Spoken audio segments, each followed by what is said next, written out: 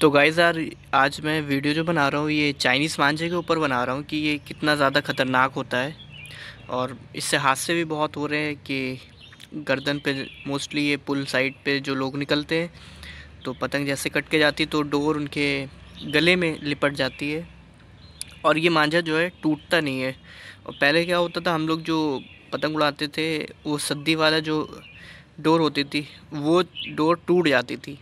और ये जो है प्लास्टिक का है तो ये डोर टूटती नहीं है, खिंच जाती है। तो ये खिंचती चली जाती है और ये अंदर तक डीप वेंस को कट कर देती है, इसलिए ये मांझा ज़्यादा ख़तरनाक है।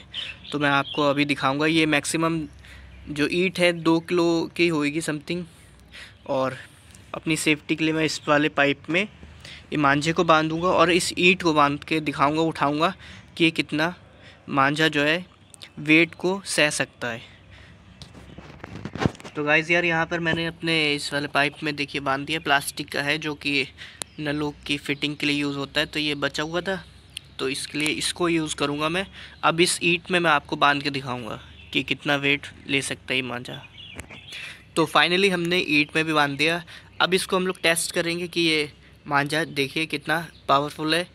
और ये मांझा जो है जल्दी से आसानी से टूटता नहीं है। तो गाइज़ यहाँ पे हम लोग ने बाँध के कर दिया तैयार। अब देखिएगा गाइज़ इस ईंट को हम लोग उठा के देखेंगे।